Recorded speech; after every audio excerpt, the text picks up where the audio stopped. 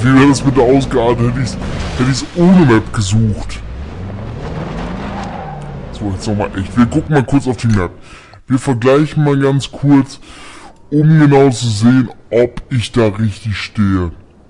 Und ob das Licht angeht. Ähm, hier so, da wo ich stehe, ein bisschen jetzt rechts rein. Eigentlich. So, hier müsste jetzt irgendwo eigentlich in Sichtweite ist. Eigentlich, wie gesagt.